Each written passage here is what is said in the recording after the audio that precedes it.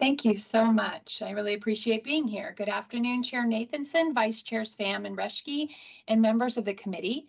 For the record, I am Janeen Sollman, the state senator for Senate District 15, which includes the areas of Forest Grove, Cornelius Banks, North Plains, Hillsboro, and Aloha Beaverton in Western Washington County.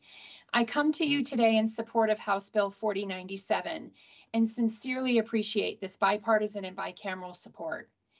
Oregonians from all corners of the state rely on volunteer firefighters to respond to traffic accidents, house fires, brush fires, wildfires that are becoming more frequent, and many other events that happen outside our city limits in some of our most rural areas of the state.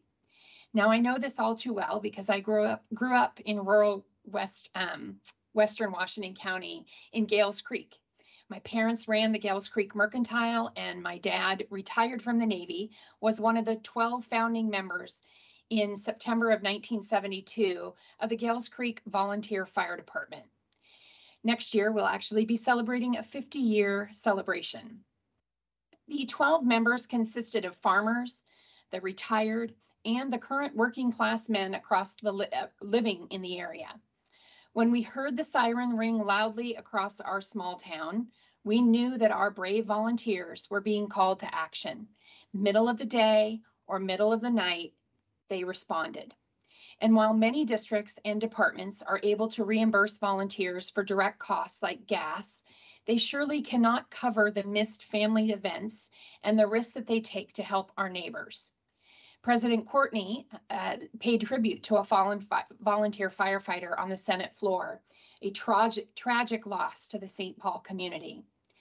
Now, a modest $1,000 tax credit won't provide compensation for the sacrifices that our volunteer firefighters make, but it will hopefully help encourage current volunteers to continue their service and potentially attract new ones.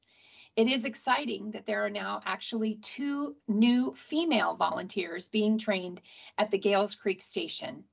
Some volunteer firefighters utilize this extensive and intense training and experience as a means to climbing the career ladder.